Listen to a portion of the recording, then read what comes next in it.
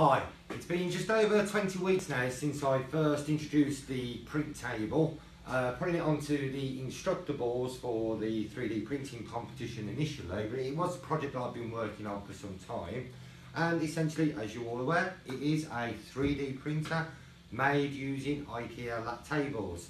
Now, since publishing those files, obviously I've had so much demand off people. We have set up a website now where people can buy parts from us thank you everybody for your support on that. Um, you know, it's been great the response that we've had. We recently showed the Printtable at the TCT show in uh, the NEC in Birmingham, to which again, great support from the community, had lots and lots of visits to the stand, people commenting on how they'd seen the Printtable on Instructables and on the internet and also my YouTube channel, uh, and obviously it was great for them to see it in the flesh. When we went to the TCT show, it was we were showing this model, although it wasn't uh, working at that moment in time, and this is the one with all of the updates. Um, and why have I done the updates? Well, it's, it's all about developing and continuing the print table. Obviously, with such a large build volume, having a heated bed was going to be important. Also, bed leveling, another feature that we want, just to make it so much simpler, so much easier in order for the print table to find the level, do the auto tramming and alter the G-code so it can always build something nice and level. But one of the other key features that I wanted to focus on is how to make it even simpler to build.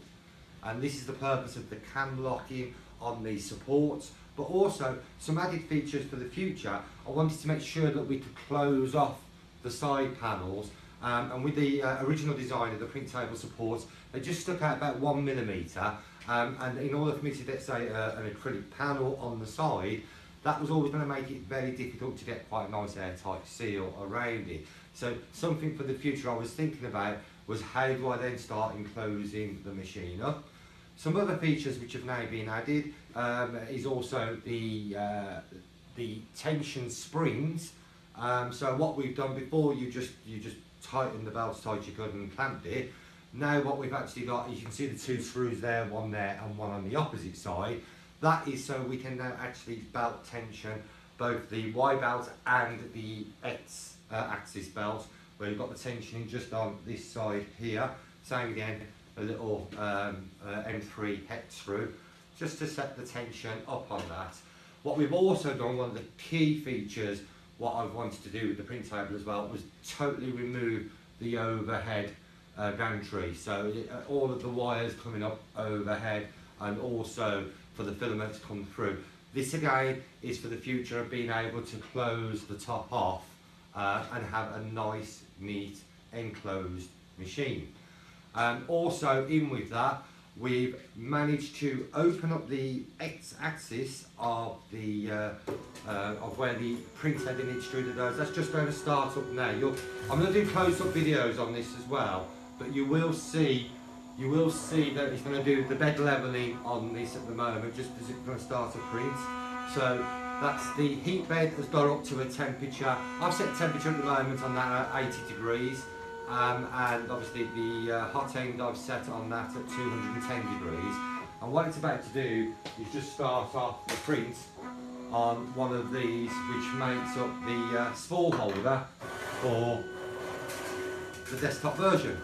So obviously this has got the short legs on, so it's ideal to sit on top of the table. So that's done its auto tramming. It's now just doing a prime line and then it will continue and then start doing the print. So in the next video what I'm going to do is start going into the detail of showing the changes and what I'm also going to do is show you right from the very beginning again how simple, even simpler it is now for us to get the frame built and get the axes in. There's no drilling on the legs, no feeding the wires through the legs anymore. All of the wires now just come up through the centre and then through the inner top part of the of the roof frame and drop down. We've also added in this extra energy chain here, the drag chain, and that's so the wires can run through to the actual print head. Uh, like I say, in the next videos now we're going to be showing you all of the changes. We're also going to have uploaded all of the new uh, images, all of the new STLs for this build. Um, So look forward to seeing you. Please subscribe to the channel if you want to see more on the print table and you want to see more developments on the print table. And I really do appreciate everybody's support.